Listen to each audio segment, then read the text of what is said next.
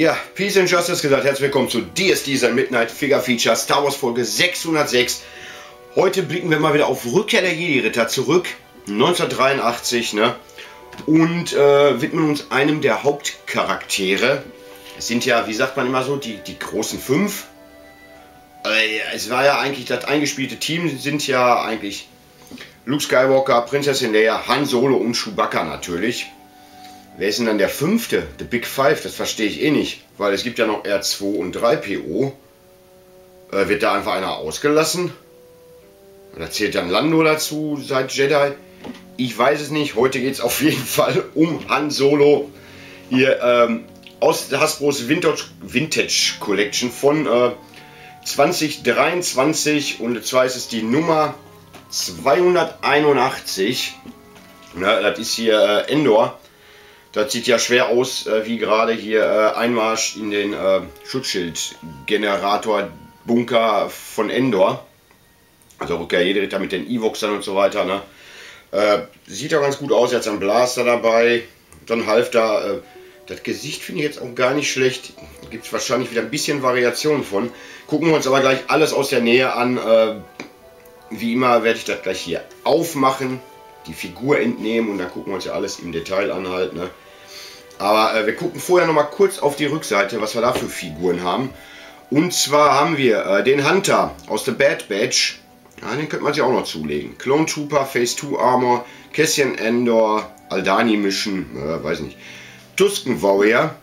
Den werde ich mir auf der nächsten Con, also auf irgendeiner Börse, wenn es den da gibt, äh, und auch nicht so überteuert ist halt, ne? Ich meine, ich hätte die auch mal gesehen, so für 12 Euro oder so. Auf der, äh, was war denn das? Auf der Power of the Force Con. Habe ich aber nicht mitgenommen, ich blöd, Mann. Ja, den brauche ich auf jeden Fall noch. Den finde ich geil. Die sehen super aus, halt. Ähnlich wie der äh, Boba Fett dann auch im Tusken halt, ne? mit dunklen, äh, dunklem Mantel halt, äh, Gewand und so weiter. Super. Ja, Weequay.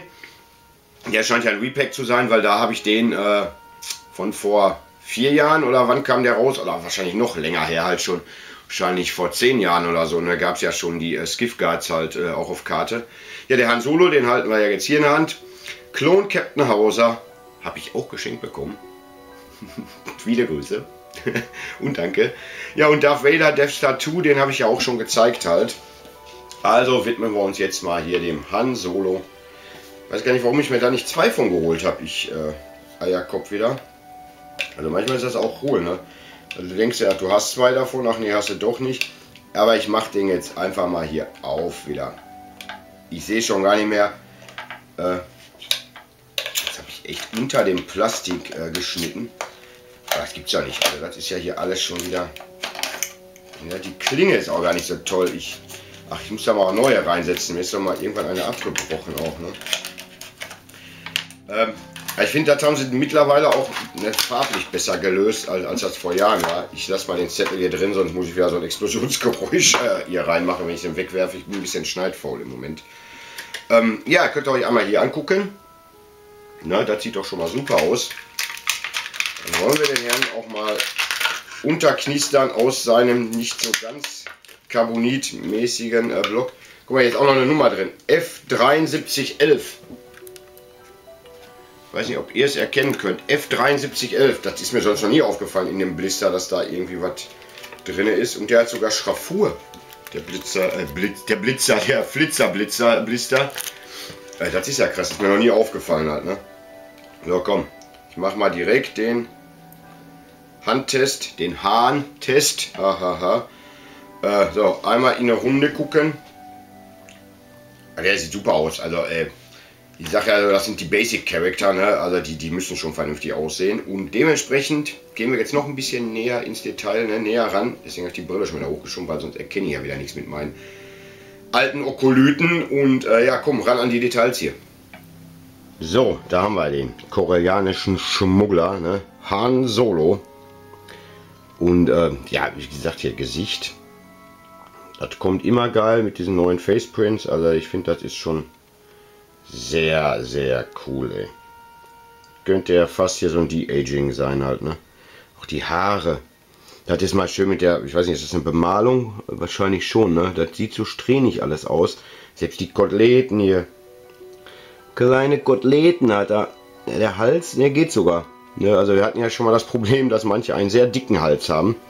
Und es gab ja früher auch hier den Turtleneck halt, ne, im Original äh, Kenner Han Solo, da war der auch ein bisschen dicker halt und dann gab es noch einen dünneren. Ich bin mal gespannt, ob es hier Variationen von gibt. Sieht fast aus, wenn man die Haare abnehmen könnte. Ne, ist, ist aber nicht. Oh, da könnt ihr jetzt natürlich nicht sehen, wenn es wieder so unscharf ist. Der Haaransatz hier, alles super, ne? Kopf lässt sich komplett drehen. Die Weste kann man ihm wahrscheinlich auch ausziehen. Machen wir mal direkt. Na, wir gucken uns erstmal hier an noch. Das sieht super aus. Weil dann, wenn ich ihm jetzt die Weste ausziehe, hier, ne, dann hätten wir ja eigentlich ein äh, Han Solo Carbonit. Ne, das sieht auch super aus. Das kann man ja mal machen. Dann hier schön, guck mal, ja, Hüfte kannst du drehen. Obwohl der Bauch ein bisschen komisch aussieht. Aber das geht. Äh, Arme auch wieder voll beweglich. Hier kann ein ist ja fast, als wenn ein Wookie einem äh, die Arme auskugeln würde, äh, ausreißen würde. Ellbogengelenk. Natürlich wieder kann er den Roboter machen hier. Tschick, tschick. Äh, Hände. Ja, auch wieder ne, ab, kann man abwinkeln. Eine komplett drehbar. Super, wie gesagt, hier oben dann halt. Gürtel ist auch schön. Kann man leider nicht abnehmen, ist vielleicht aber auch ganz gut so. Ach, guck mal, der ist hier Ne, ne, das ist ein, ein komplettes Gürtelteil. Was er hier noch alles drin hat.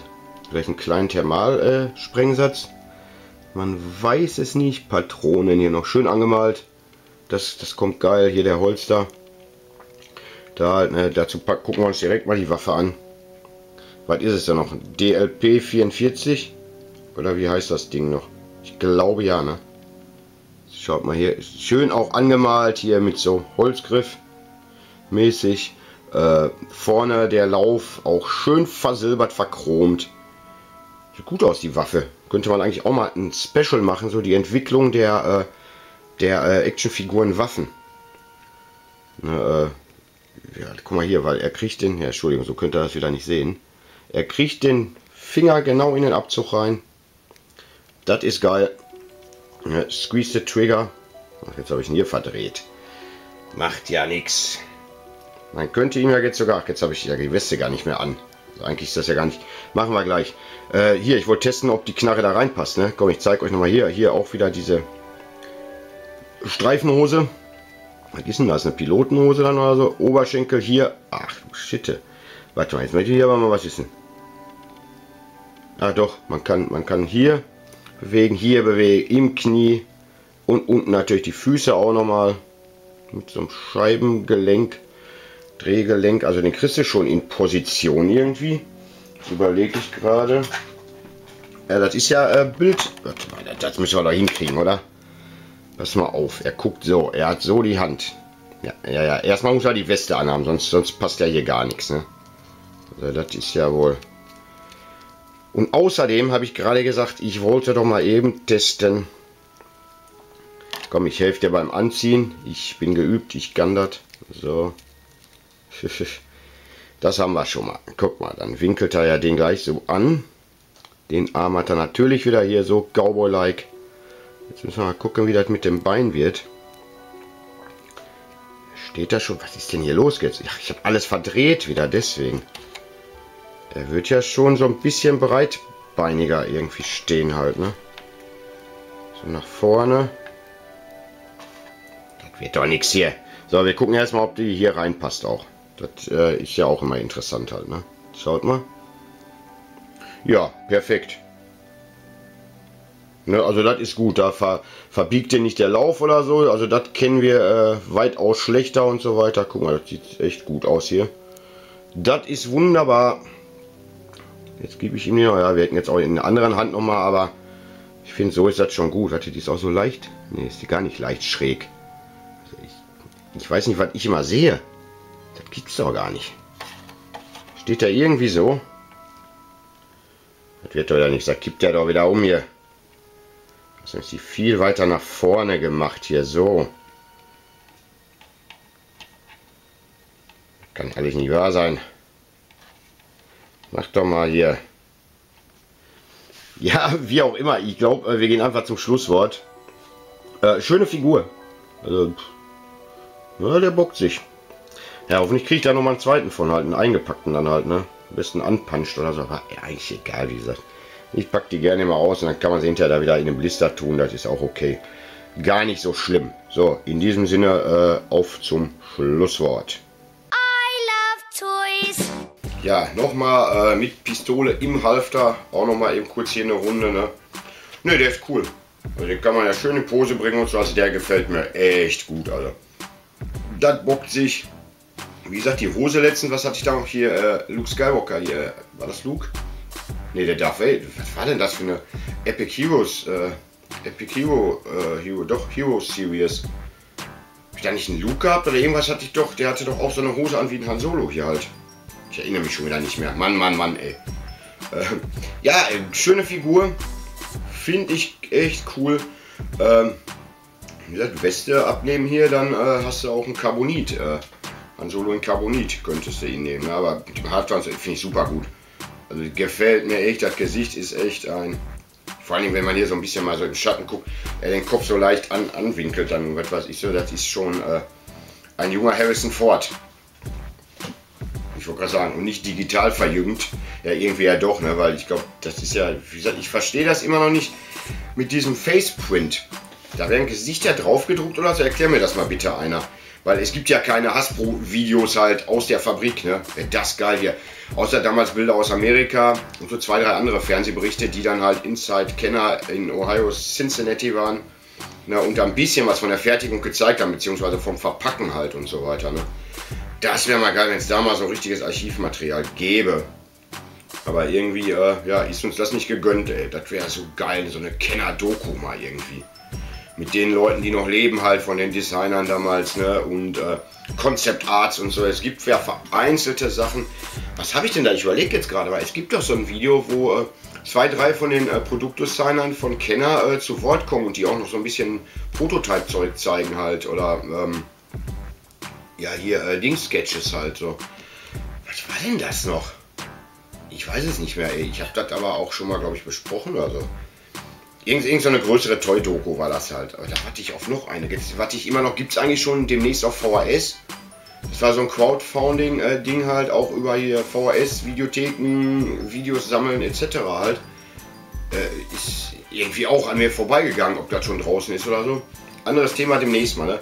Ja, äh, das war der Han Solo äh, Endor. Auch ne, der, heißt gar nichts mit äh, äh Endor Outfit oder so, weil das ist auch Quatsch. Return of the Jedi Han Solo halt, ne? Äh, er trägt ja, trägt ja echt dieselben Klamotten, die gleichen Klamotten äh, die ganze Zeit, ne? Er kommt aus dem Carbonitblock frei. Oder hat er einmal was anderes an äh, in der äh, Rebellenbesprechung, bevor sie mit der Tidirium Richtung Endor fliegen halt, um den Bunker zu zerstören? ich muss mal, ich habe ich dieses Jahr eigentlich schon, doch zweimal habe ich dieses Jahr schon Rückkehr der Jedi-Ritter geguckt und die anderen Teile auch zweimal.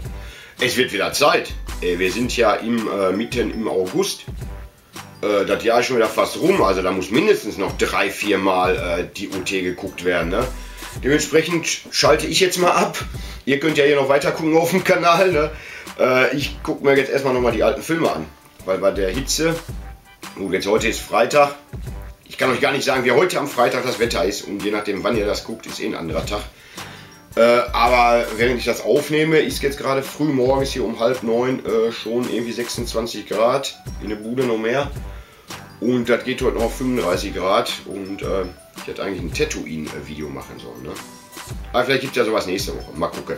Äh, danke fürs Zugucken, fürs Durchhalten, fürs mich, fürs mich begleiten. Und äh, ja, holt euch ein Eis und keine Ahnung, wir sehen uns. Ich denke doch nächste Woche. Mal gucken, wann die Sommerpause kommt. Irgendwann plötzlich ist hier erstmal Ruhe oder so. Ich weiß es nicht. Aber solange es geht, geht es halt. Ne?